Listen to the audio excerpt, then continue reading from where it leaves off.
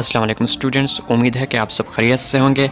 आज की इस वीडियो में हम आपको बताएँगे कि सिंध काबीना ने जो पीएमसी की तरफ़ से नोटिफिकेशन आया था, उसको रद्द कर दिया है, जो कि पासिंग क्राइटेरिया के बारे में था। कि 65 परसेंट ही पासिंग क्राइटेरिया रहे, लेकिन सिंध मेडिकल और डेंटल काउंसिल ने पीएमसी के इस फैसले को, इस नोटिफिकेशन को उन्होंने रद्द कर दिया है, और अब पासिंग क्राइटेरिया फिफ्टी परसेंट होगा। इसके अलावा आपको बताएँगे कि क्या पंजाब के जो स्टूडेंट्स हैं, वो सिंध में अप्लाई कर सकते हैं कि नहीं? क्योंकि सिंध में जो पासिंग क्राइटेरिया है, वो 50 परसेंट हो गई। आपको इस चीज़ से आगाह करेंगे? अक्सर स्टूडेंट्स ये क्वेश्चन पूछ रहे हैं। तो आपको इस न्यूज़ से आगाह करेंगे, लेकिन उससे पहले आपसे एक छोटी सी रिक्वेस्ट है कि अगर आप मेरे इस चैनल पर फ़र्स्ट टाइम आए हैं तो मेरे इस चैनल को सब्सक्राइब कर दें। एन एम से रिलेटेड अपडेट्स यहाँ पर अपलोड होती रहती हैं, वो आप तक फौरी पहुँचेंगी।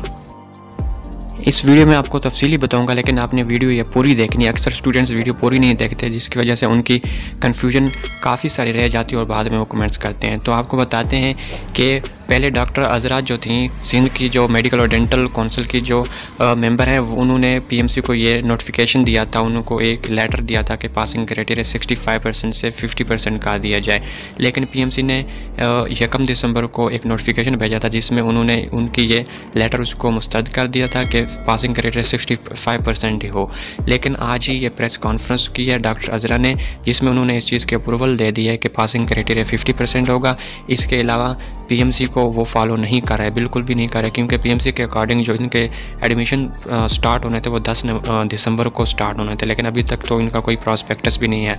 लेकिन सुनने में यही आया कि इसके जो दाखिले होंगे एडमिशन होंगे, वो दिसंबर के जो लास्ट वीक होगा ना, उसमें ये स्टार्ट होंगे।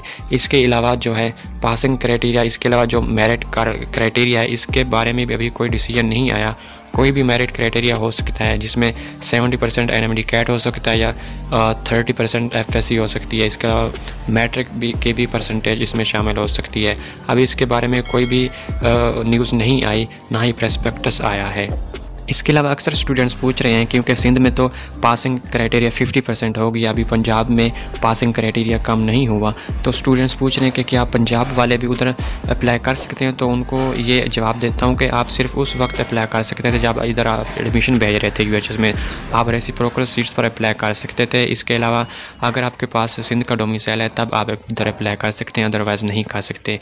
ये जो है अपॉर्चुनिटी सिर्फ़ सिंध वालों के लिए ही है। तो स्टूडेंट्स आपको एक ऐसी लगी अपडेट अगर अच्छी लगी हो तो मेरी वीडियो को लाइक कर दें और मेरे चैनल को भी सब्सक्राइब कर दें, बेल आइकन को भी प्रेस कर दें। शुक्रिया।